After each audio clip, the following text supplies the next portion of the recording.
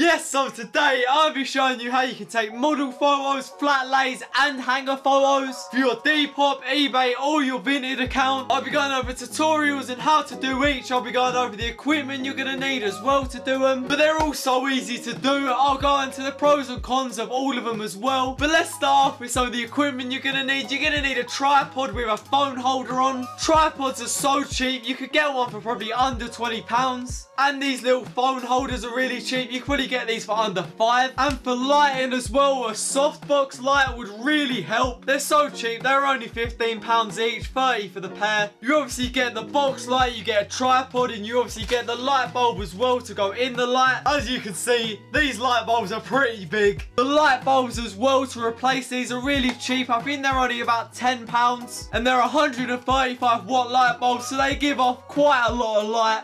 One tip when buying these softbox lights though, make sure the softbox light does this and it's easily collapsible. Because some of the softbox lights, these wires you have to install each time, which is really long. Make sure you just buy one that's a pop up and pop down one because it's so much easier than to put them wires in every time. As I've already said, I'll link the lights that I bought in the description. They're not really too essential, but they definitely do help light your items a lot better, which is a really key part of taking photos. And as well, if you're doing like model photos, you could use like these little clicker things. I'll put a photo to the side, but they're not too expensive either. You can get them for under £10.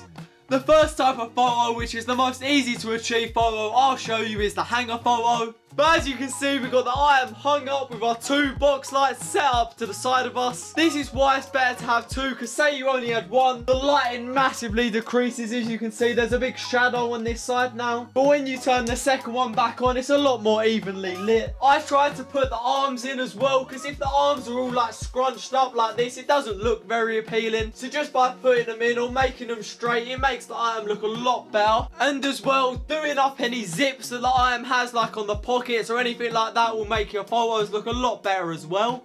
But we're just going to take the photo now. All I'm going to use is my phone to take the photo. You can use a DSLR, but there's no point really. Because the iPhone camera is sufficient and as well it's going to take a long time to transfer the files from your camera to your phone. And for the quality difference, it's not really worth it. But what we are going to do on my phone is we're going to change the photo to a square photo because that's what Depop uses. By literally just going up on the top arrow and clicking the 4 to 3 and changing it to square. And then just going back, making sure all of our items in the frame and taking our photo. That one wasn't very straight, so we're to go again and make it a lot straighter and a lot nicer looking.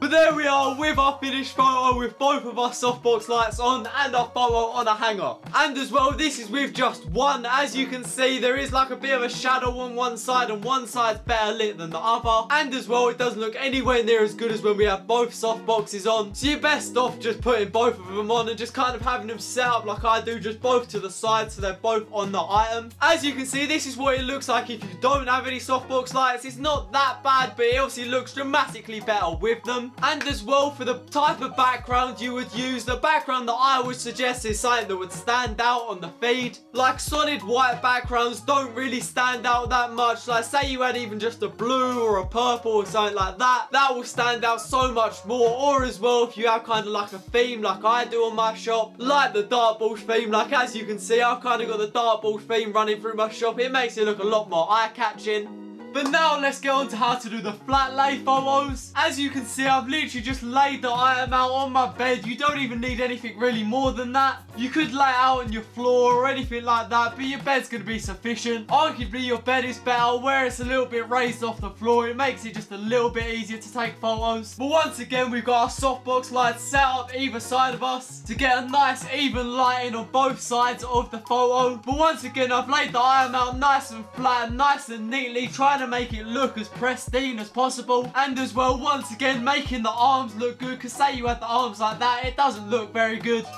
But once again, we're just going to take the photo, going above the iron, trying to get it all in frame, trying to make the iron look as neat as possible, and trying to make our photo look nice and straight. But that's our photo taken. As you can see, really nice results we've got for it. Nice evenly lit photo, making the iron look really nice. But this is what it looks like with only one softbox light. Once again, really uneven lighting and only really lit one half of the item. And then this is what it looks like with no softbox lights. Really bad photo. Just really really poorly lit, it makes your item look so much worse. If you don't want to buy softbox lights, go outside and take your photos to get a better light.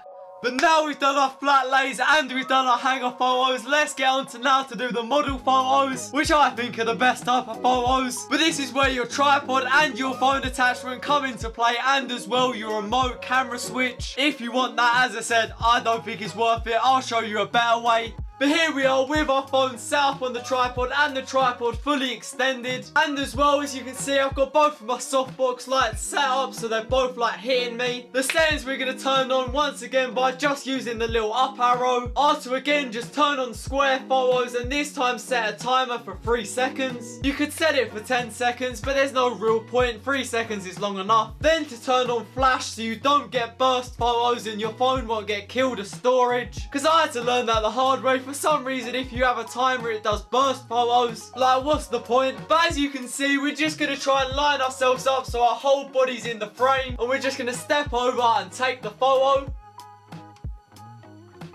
And just by using the timer and stepping back, you don't need a remote switch. But you can really see in this photo how dramatic the box lights really are to light in the photos. They really make your photos look so much better. Like this photo doesn't look really good at all. I've got a really big shadow behind me that I didn't have before. And as well, the photo just looks a lot darker. So you can really see how effective these box lights are. They're so cheap as well. Only £30 for two. You get two tripods with that. Obviously, the two box lights lights, two bulbs, and you get a carrier bag for them, which is really nice if you are going to be transporting these about, which I do. I'll put a link to where I got these in the description once again, as I said. If you've made it this far in the video, you must have somewhat enjoyed it. So please like the video, it does massively help out my channel and this video. And share it to anyone you think might benefit from watching it. And subscribe to my channel to help me hit 1k by the end of the year. It'd be so appreciated if you could help me. And if you don't subscribe, you're going to miss out on Depop tips like this one, vintage unboxings, vintage wholesaler reviews, charity shop videos, car boot sale videos, and just so much more content. Three times a week now, every Tuesday, Thursday, Thursday and Saturday at 5pm on this channel. So you'd be crazy not to subscribe. But I really do hope you enjoyed this video and you found it helpful. But please like, subscribe and comment down below any videos you'd like to see in the future. And as well, if you're a loyal subscriber, thanks for continuing to watch. But what did you think of the audio in this video? Was it better? Was it worse? I tried to turn it down a little bit because I know in some of the last videos it seems a little loud and it seems like I'm shouting. But what did you think of this one? Was it a bit quieter or was it worse? Let me know in the comments. It'd be very much appreciated.